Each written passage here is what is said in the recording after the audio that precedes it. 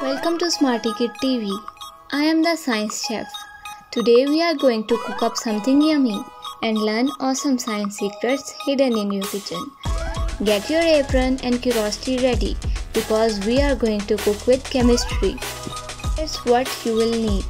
1 cup of flour, 1 by half cup of sugar, 1 by half teaspoon of baking soda, 1 pinch of salt, 1 by half cup of milk, 1 4th cup of oil, a splash of vinegar, food coloring, cupcake liner, mixing bowls and spoons.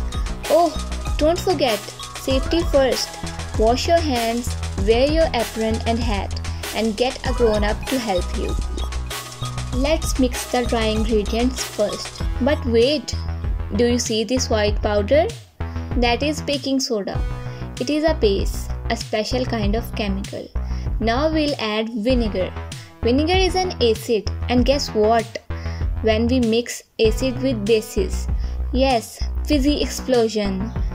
That is fizzy chemistry. The bubbles are carbon dioxide gas. Now we will stir the wet stuff, oil, milk and vinegar. Then we mix it into the dry stuff. Mixy mixy. Then we add our favorite food colors and mix each one. Now we have a rainbow batter. Smarty stars. It is the time to bake.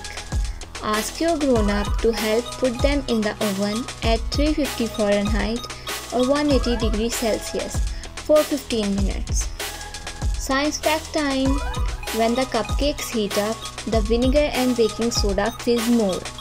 That gas gets trapped inside the batter and make the cupcake rise. That is why we get light, fluffy cakes. It is called a chemical reaction. Ta-da! Look at those rainbow layers. Let's take a bite and taste the science. Mmm! Fluffy, sweet and perfectly fizzy. Let's remember what we learned today. Baking soda is a base. Vinegar is an acid. When they fizz, they create carbon dioxide gas. That gas makes the cupcake rise in the oven. It is chemistry. Let's remember what we learned today. Baking soda is a base. Vinegar is an acid. When they fizz, they create carbon dioxide gas. That gas makes the cupcake rise in the oven. It is chemistry. Thanks for cooking with Smarty Chef on Smarty Kid TV. Like, subscribe and share this video if you love learning while cooking. What should we cook?